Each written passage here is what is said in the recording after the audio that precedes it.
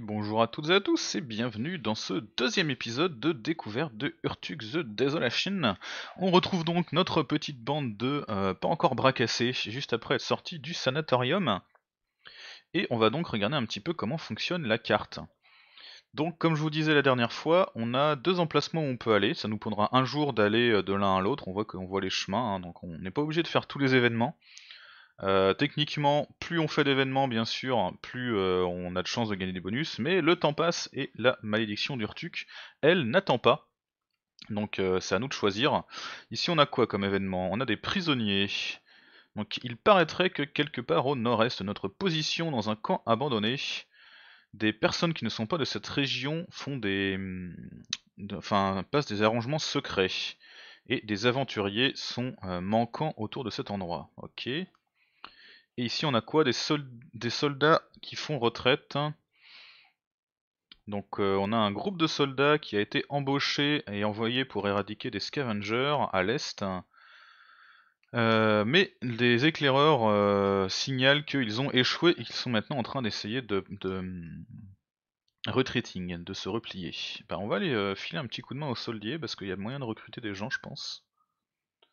Donc à chaque fois on a une estimation du niveau de difficulté. Euh, c'est pas toujours très très fiable hein, parce que ça va beaucoup dépendre derrière de comment vous gérez euh, vos, vos placements. Euh, en, ça en gros c'est une estimation de la force de votre groupe par rapport à la force au niveau des ennemis. Mais ça peut totalement partir en couille si par exemple vous pouvez pas combattre parce qu'il y, a trop de trucs partout quoi. Donc là on est en easy parce qu'on a quand même 4 mecs pour nous aider. On est 3.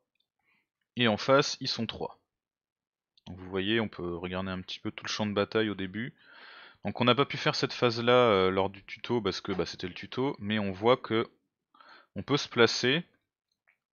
Les petits numéros au-dessus de notre tête, ça va être hum, l'ordre avec lequel ils vont jouer au début du combat. Au début du combat, globalement, c'est toujours nous qui commençons.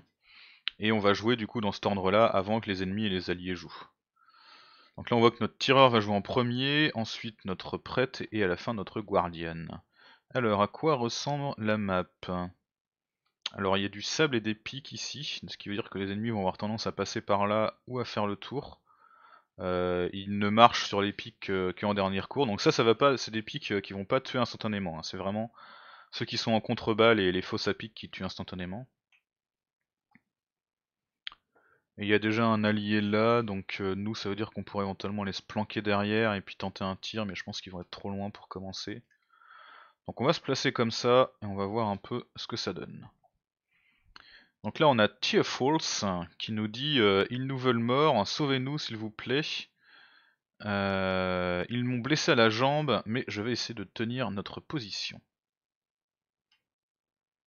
Ok, donc il commence du coup déjà blessé. Très bien. Donc on a deux piquiers, enfin deux euh, lanciers plutôt, et deux piquiers ici, deux footman. Donc à chaque fois hein, quand on regarde euh, les ennemis ou les alliés ou même nous-mêmes, on a un petit point euh, ici d'interrogation qui permet de montrer ce qu'ils peuvent faire. Donc visiblement eux ne peuvent pas bouger. Vous voyez qu'ils ont juste des zones rouges autour qui se représentent leur zone d'attaque. Par contre, si on prend les ennemis, vous voyez que la zone rouge, elle est plus grande, c'est-à-dire qu'ils peuvent se déplacer jusque là, quoi. Donc ils sont considérés comme blessés, ils peuvent pas bouger, ce qui fait que lui va nous bloquer le chemin comme un gros sac. Euh, et eux ne serviront probablement pas grand chose. Donc au final on va être 3 pour ce combat. On va commencer à se déplacer par là. On peut pas lancer notre piège suffisamment loin malheureusement, et on est euh, beaucoup trop loin pour tirer. Donc si on regarde un peu ce qu'ils ont en face, ils ont un Scavenger Hammerman, donc un mec avec un marteau, qui stun les ennemis quand il fait un critique, et euh, qui a automatiquement au début du combat sa compétence de focus euh, disponible. Donc sa jauge de focus est remplie au début du combat. Sauf que pour l'instant, il n'a pas de jauge de focus. Vous verrez, ça fait une petite jauge verte en bas. En dessous, la jauge de vie. Donc pour l'instant, ça ne joue pas. Ils ont également un arbalétrier, un marksman, euh, qui a plein de compétences. Donc ranger support. Ok, donc ça, ça fait que euh, quand un, un de ses potes va attaquer au corps à corps, si c'est possible, il va essayer de tirer aussi pour lui filer un coup de main. Donc ça peut faire très très vite mal s'ils sont nombreux à faire ça. Euh, s'il fait un coup critique, il diminue la vitesse de la cible de moins 60. Ok. Il a Lightfoot aussi comme notre euh, propre euh, arbalétrier qui permet de swap gratuitement. Light Weapon. Donc il, combat avec une arme légère, ce qui fait qu'il a plus 25% de stamina et plus 15% de vitesse. Et également, s'il fait un coup critique, il inflige saignement en plus de virer la vitesse. Donc on est sur une belle saloperie quand même. Et enfin, ils ont un assassin. Donc qu'est-ce qu'il peut faire? Attaquer, il peut lancer aussi une marque de l'assassin qui fait que si un ennemi marche dessus, tous les ennemis qui a porté vont essayer d'attaquer. Ce qui pareil hein, peut faire assez mal. Ça bien sûr on ne le voit pas, il le lance quelque part, on ne le voit pas. Il a Swift Hand, ce qui fait que quand il attaque un ennemi dans le dos, il attaque automatiquement une deuxième fois. Euh, si il arrive à faire un coup critique, il gagne plus 20 de vitesse, donc il jouera plus vite. S'il arrive à taper quelqu'un dans le dos, il peut bouger de 2 polygones supplémentaires gratuitement, alors que normalement quand on attaque on ne peut plus bouger. Hein. Il a Light Weapon également, il a aussi Light Food, et il a l'esprit d'un penseur qui donne plus 7 de concentration. Donc ce qui ferait que sa compétence de focus se chargerait plus vite. Bon, donc en gros ils ont deux corps à corps, euh, un gros tas, un soutien et puis un tireur.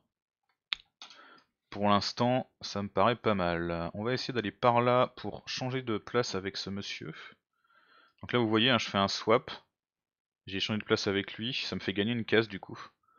Et euh, ça m'est fait un mon tour parce que j'ai pas Lightfoot. On va les reculer eux histoire qu'ils soient pas trop euh, au corps à corps. On va essayer de prendre la place de lui si on peut. Là vous voyez qu'il tire. Et euh, il y a eu un petit symbole de bouclier. Ah, ils peuvent quand même bouger d'une case, ok. Donc il s'est posé là, il a fait un spiro. C'est complètement con parce que ici il peut être attaqué de trois endroits à la fois, mais bon, admettons. Alors nous... Je peux aller me mettre à sa place du coup, ce qui est pas forcément euh, très adéquat. Vous voyez, je peux bouger ici, mais c'est un terrain hasardeux. Je peux bouger ici, c'est un terrain hasardeux. Donc on voit toujours en, haut à gauche hein, la description des terrains. Ici, c'est de la boue. Ce qui fait que euh, ça me fait, ça me réduit de 25 ma vitesse et qu'en plus je prends plus 25% de dégâts. Et ici, j'ai saignement qui est appliqué et je reçois des dégâts de 15% de ma vie. Donc c'est quand même pas, neutre. Euh, là, ce que j'aimerais bien, c'est avancer. Sauf que si j'avance, je vais être Enfin, lui va, être au corps à corps. Bon, après, il a fait un mur de pique, hein, donc ça peut permettre de, filer un coup de main. On va quand même commencer à taper un peu. Donc là, on peut voir une estimation des dégâts euh, dans leur jauge de vie. On voit que ces deux-là sont à portée. J'ai 100% de chance de les toucher. Lui a une armure, c'est le petit symbole de, bouclier là, ce qui fait que je lui fais un peu moins mal, seulement 38 de dégâts et 26 euh, de dégâts à l'armure, alors que lui je lui fais 75 dégâts euh, direct.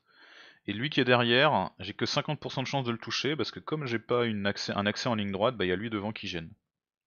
Donc faut faire assez attention avec l'arbalétrier à cause de ça. On va essayer de taper sur lui euh, pour le diminuer. Et là je peux jump directement là, histoire d'aller filer un coup de main à lui. Hop, voilà. Et toi mon cher, tu vas faire le tour. Donc ils vont me taper.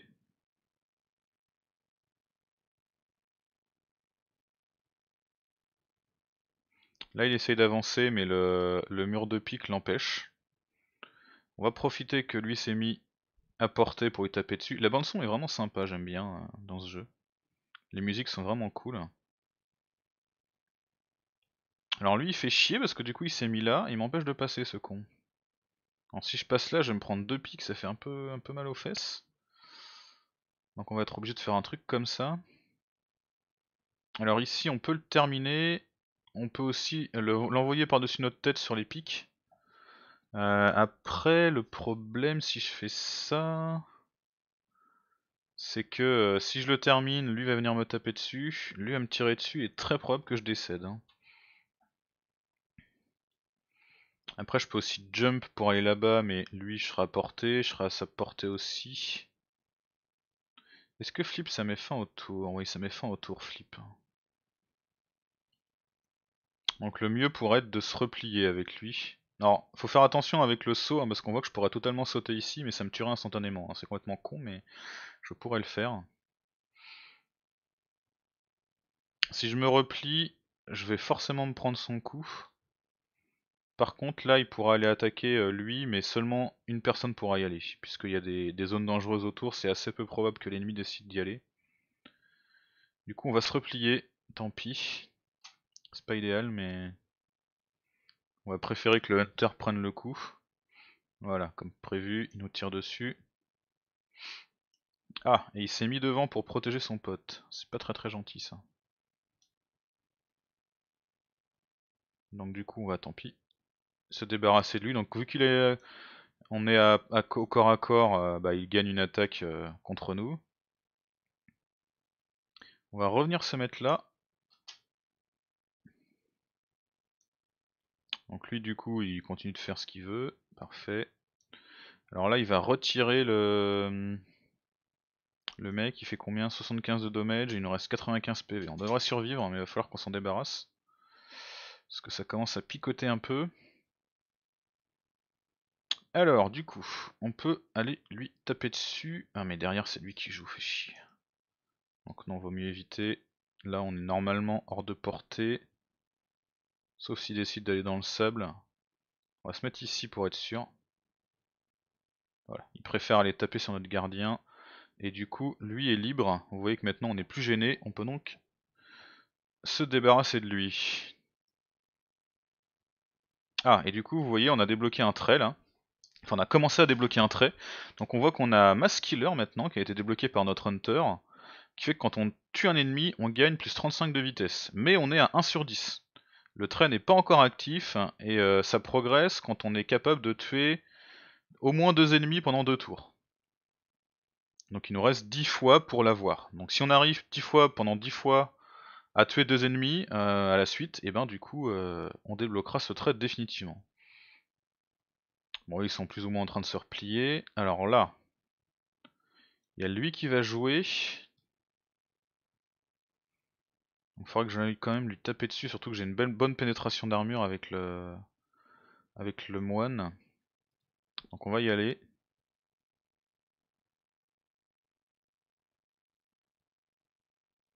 Euh, est-ce que j'ai moyen... Si je m'étais mis là, vous voyez, j'aurais pu le flip par-dessus ma tête pour... Euh, pour l'envoyer là. Ça aurait été peut-être un peu plus judicieux. Bon, c'est pas grave. Je me suis mis à côté de lui parce que lui du coup va pouvoir me protéger.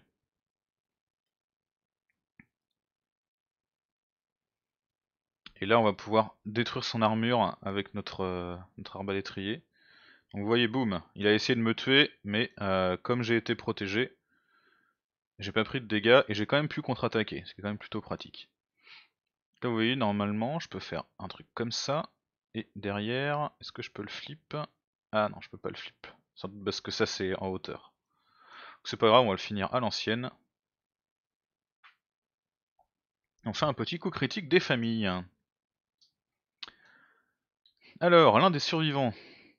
Vous nous avez aidé avec un grand succès, c'est cool, on a tous survécu, et on a donc Mardo the Footman, euh, qui a décidé de quitter la compagnie et de nous rejoindre. Très bien, donc on gagne une personne et en plus on gagne un, casque en acier.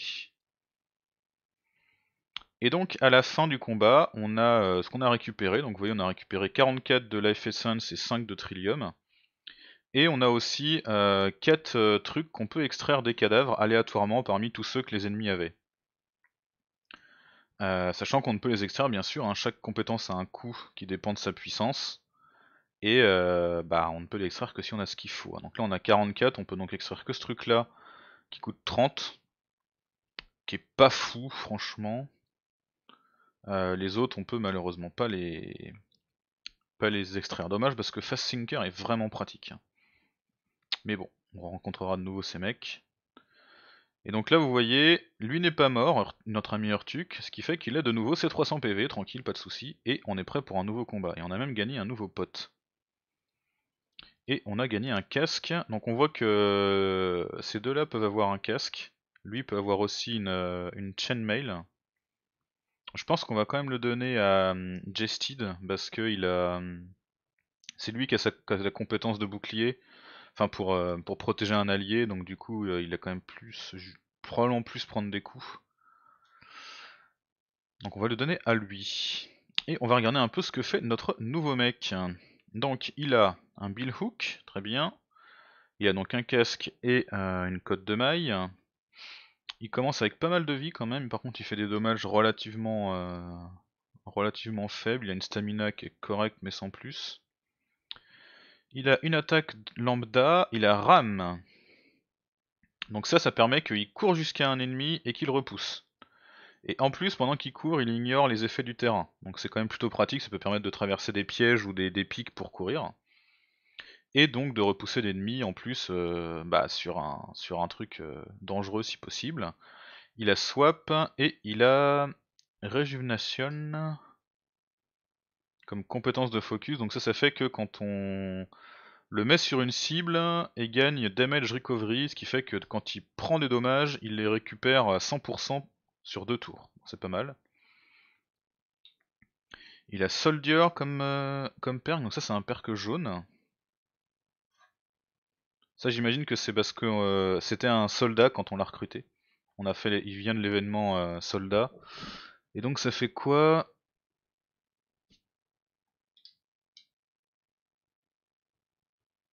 D'accord, donc ça ça fait que à chaque fois que il se prend un coup qui est 20% de sa vie max, mais que c'est son armure qu'encaisse, euh, il gagne plus d'expérience et il augmente la.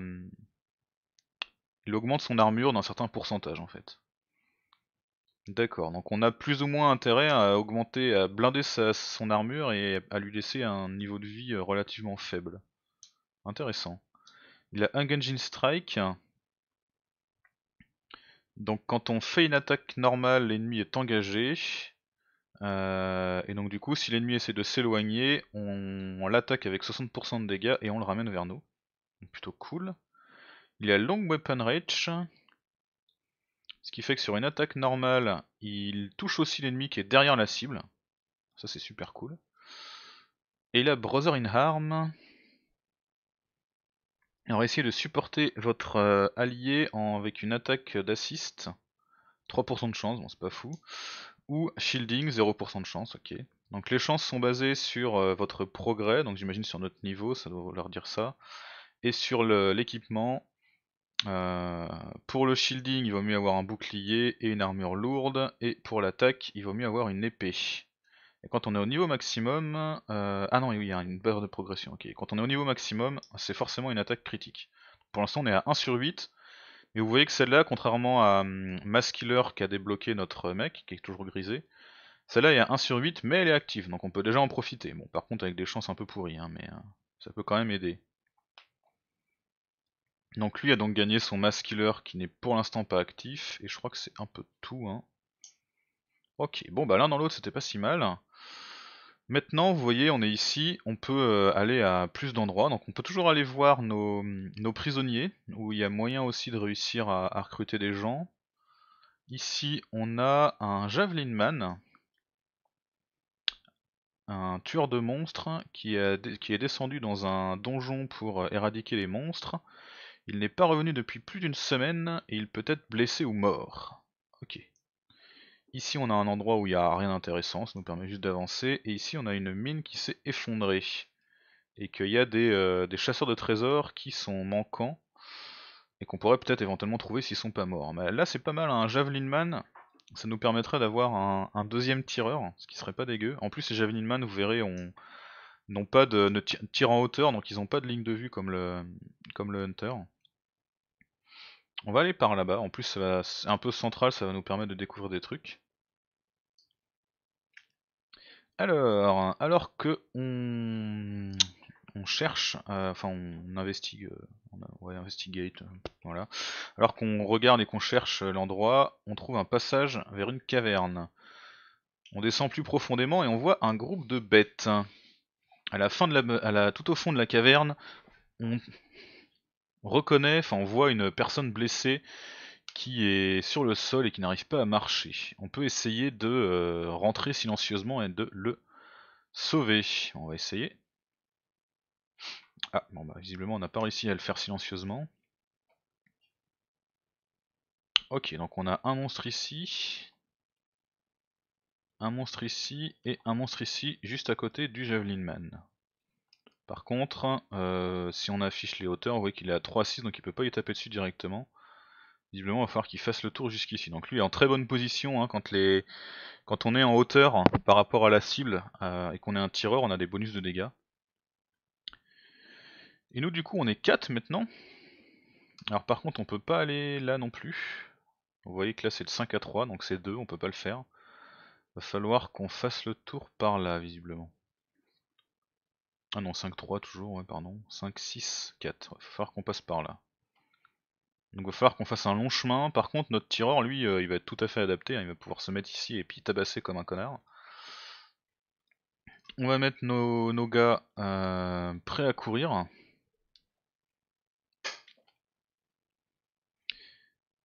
Parce qu'il va falloir qu'on trace et on va lancer la bataille. Alors.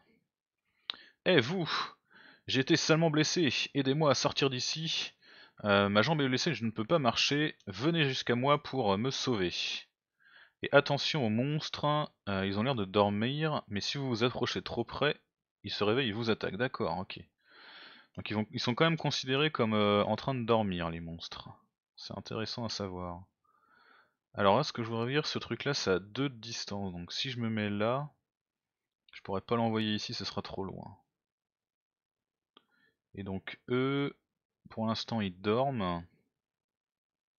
Qu'est-ce qu'ils ont de beau? Attaque, swap, astening, en focus, et ils ont acide.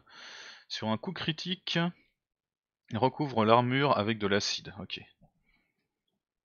Donc ils, sont capables sur un coup critique de détruire l'armure petit à petit. Bon, bah du coup on va se contenter d'avancer, on va espérer que les ennemis sont effectivement euh, endormis. Ici on va pouvoir jump directement. Ici on va pouvoir courir directement. Pareil là. Ah, visiblement ils sont pas si endormis que ça, lui s'est réveillé, mais la bonne nouvelle c'est qu'il va vers nous et pas vers, euh, pas vers lui, donc c'est plutôt cool. Bon, ce qui veut dire que s'il est réveillé, on peut arrêter de faire dans le subtil. Et on lui met une tatane. Alors ici, 6, 5, 5, ça ça va être un 3, donc on peut pas aller là non plus.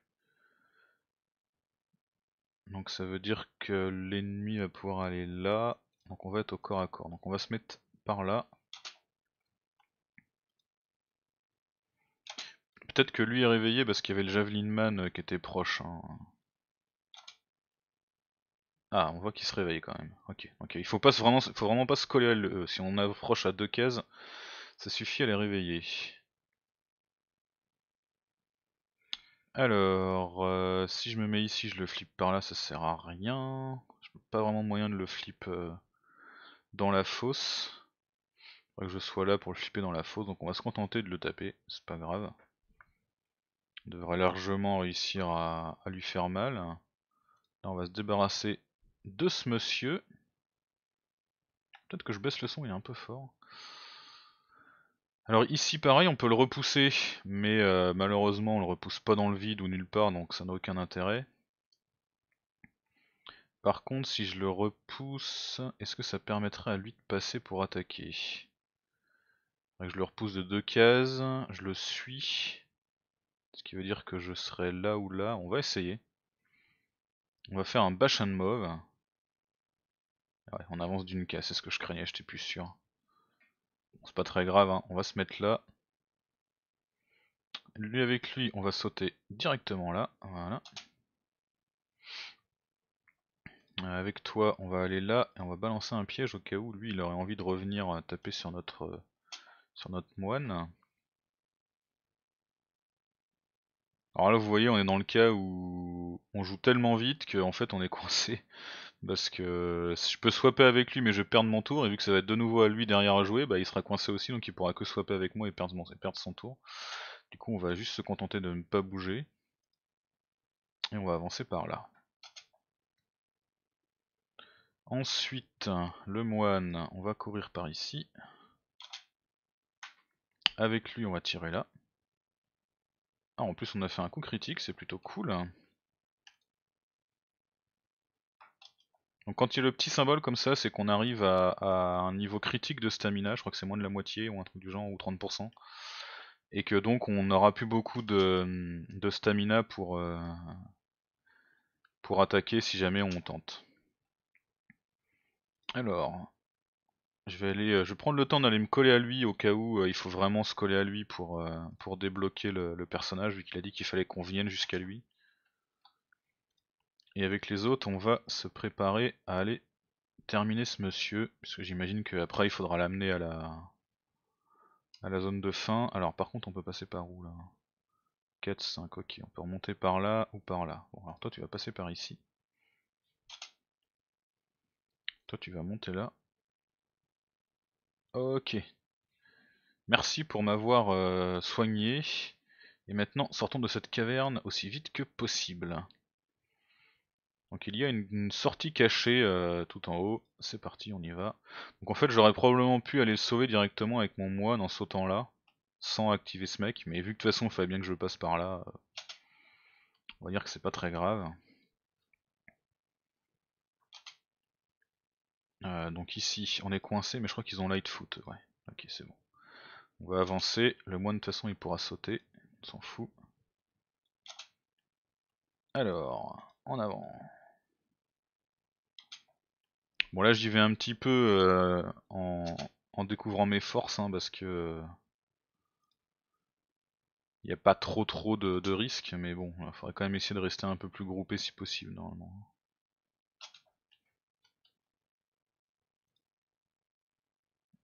Il reste plus qu'un seul monstre donc on n'est pas non plus en stress.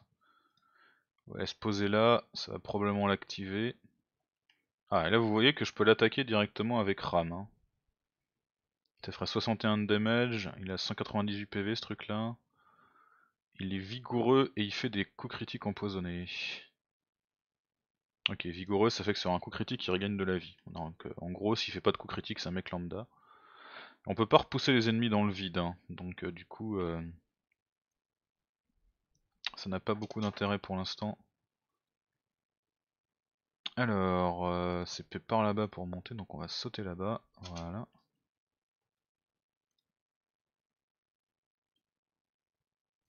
Les endroits pour passer, 6, 7, c'est un peu où on veut. On va quand même poser un piège là au cas où. Lui il court. Donc on n'a pas regardé hein, ce que fait notre ami Javelin Man. Mais euh, on voit que euh, il lance des javelines et comme l'arc est. Euh, enfin comme c'est un arc de cercle, sa zone de tir, il peut lancer par-dessus des objets et d'autres personnes. Donc c'est assez sympathique, il peut attaquer des ennemis qui sont qui sont loin ou, euh, attaqués par-dessus des, murs. Et en plus, ils ont une capacité assez marrante qui est, ils peuvent euh, soulever euh, ou descendre le niveau du terrain. Ce qui est assez utile à la fois parce qu'ils peuvent soulever le terrain, monter dessus et du coup être en hauteur, avoir des bonus de dégâts, ou pour ouvrir des chemins. Par exemple, ici, s'il avait été là, il aurait pu passer cette tuile là par exemple à 4 et du coup on aurait pu descendre tranquillement. Donc c'est assez, assez sympathique comme compétence, assez versatile. Par exemple ici on peut complètement surélever et pouf du coup ça marche, on peut passer. Donc là la petite bestiole s'est réveillée. Apparemment il est un peu en panique lui. Il nous dit euh, non ils sont encore après moi, euh, tenez-les éloignés. Et notre, on a Gistid qui nous dit on va essayer. ça devrait pas être trop compliqué de le, tenir éloigné hein, honnêtement. C'est parti, on rome. Bam, on le repousse. Vous voyez, maintenant que j'ai surélevé, je peux passer là, tranquille.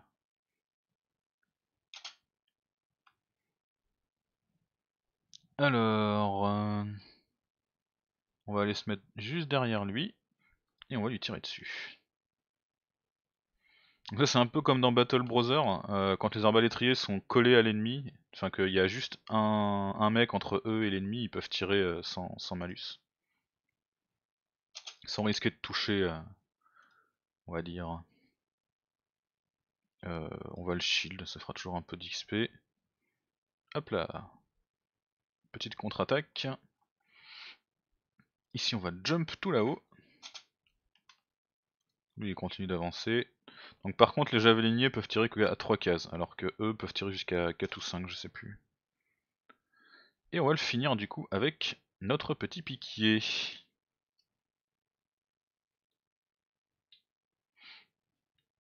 On, a aidé le pauvre aventurier à s'en sortir.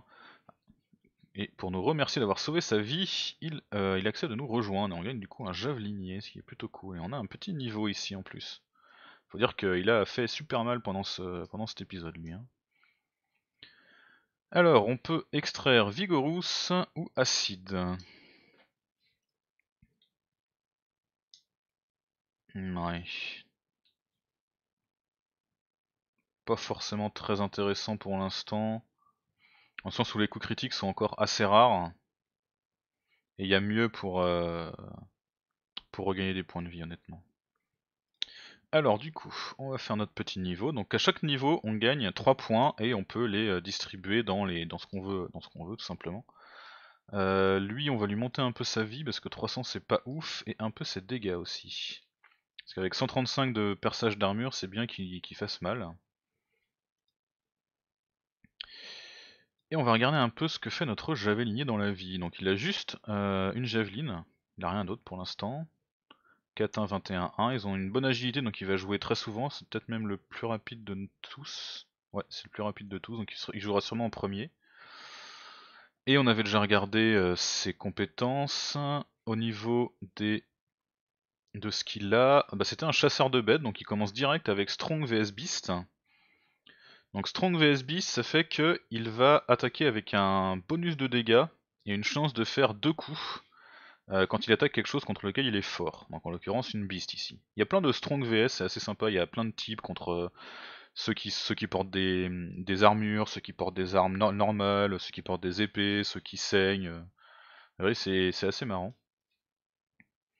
Alors le bonus de dégâts est de 10 à 50% et les chances de, toucher deux fois sont de 10 à 50% selon le, progress. Et quand on est au maximum, le premier coup est toujours un critique.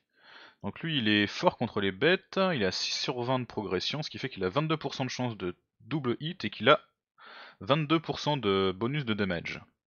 Donc on aura toujours 22% de bonus de damage, hein, ça c'est plutôt cool. Euh, et 22% de chance de double attaquer, c'est quand même pas si mal déjà. Donc ça fait bien plaisir. Il fait pas beaucoup de dégâts, par contre il traverse plutôt bien l'armure. Donc euh, on, va pouvoir, euh, on va pouvoir être un peu plus efficace. Ah oui, il a quoi d'autre? J'ai vu aussi Unbreakable, il peut pas paniquer. Ah oui, parce qu'il y a un système de, panique hein, dans le jeu. je sais pas trop sur quoi ça se base, mais s'il y a trop de personnes qui meurent, ou trop vite, Genre si en un tour euh, le mec il se fait euh, focus et défoncer, euh, vos gars peuvent totalement paniquer et s'enfuir et courir partout en, criant. Hein, donc, ça c'est plutôt pas mal comme trait du coup, Unbreakable. Et là également Lightfoot, on avait déjà vu. Ok, bah du coup on va arrêter cet épisode là. La prochaine fois je pense qu'on ira peut-être faire un petit tour dans ce petit village, voir un peu ce que ça donne. Et puisque de toute façon c'est notre objectif, et on verra ensuite un peu comment avancer. J'espère que cet épisode vous aura plu et que ce jeu vous plaît, n'hésitez pas à me laisser un petit commentaire. Euh, je pense que je vais faire encore un ou deux épisodes pour, euh, découvrir un petit peu les concepts euh, avant d'arrêter et d'attendre la sortie. Donc si vous voulez me poser des questions, c'est maintenant. On se dit à très bientôt pour la suite et merci à toutes et à tous.